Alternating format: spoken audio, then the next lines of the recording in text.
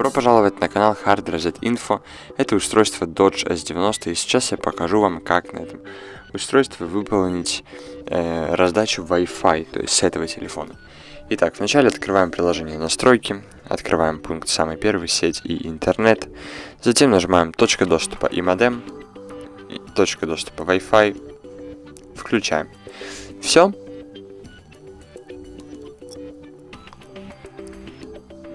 По сути, мы интернет раздали.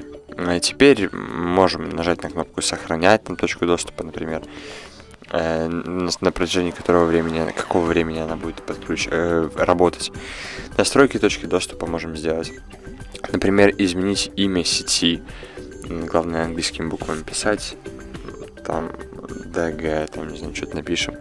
Пароль можете просмотреть, какой у вас установлен, либо поменять его. Главное, чтобы было 8 символов да, что-либо, чтобы было 8. И главное, диапазон частот Wi-Fi у нас поддерживается 2,4 ГГц. Если у вас на телефоне поддерживается 5 ГГц, вы знаете, что некоторые телефоны не видят, в общем-то, Wi-Fi, который работает в частоте 5 ГГц, поэтому вот так вот. То есть также можете настроить количество пользователей, которые могут подключиться к вашему Wi-Fi одновременно.